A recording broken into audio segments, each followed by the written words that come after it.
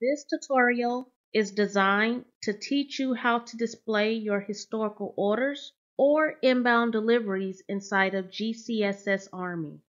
Before we get into the lesson, there are some key points that need to be discussed. The first key point is that the history of supplies ordered or inbound deliveries are documented.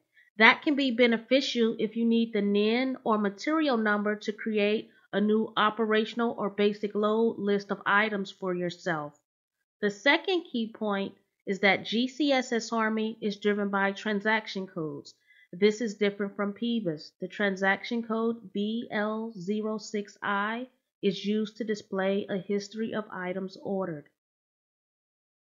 From the unit supply menu, we're going to select reservations management and then we're going to select the transaction code VL06I for inbound deliveries slash goods receipts.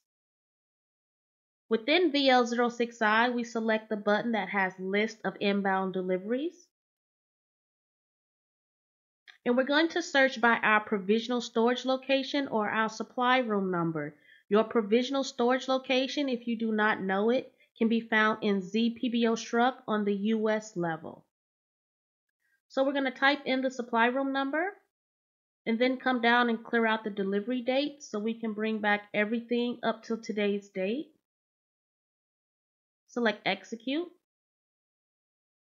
So what we're looking at right now are all the 18 character inbound deliveries. As you can see in the delivery date column, we have some dates from 2013, 2014, as well as 2015. We can scroll this down midway and we can see some 2016 and 2017 dates in there. So if you want to get the NIN or the description of that item, you can scroll this report back up and then select item view.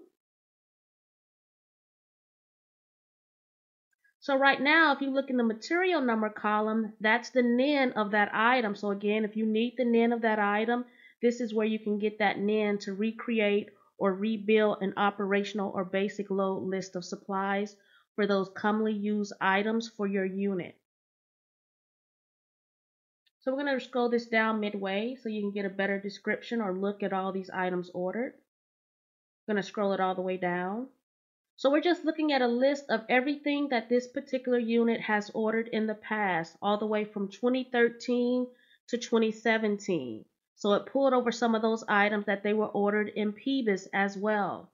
So this tutorial again is designed to pull up a list of all your historical orders. I hope you found this video tutorial to be helpful.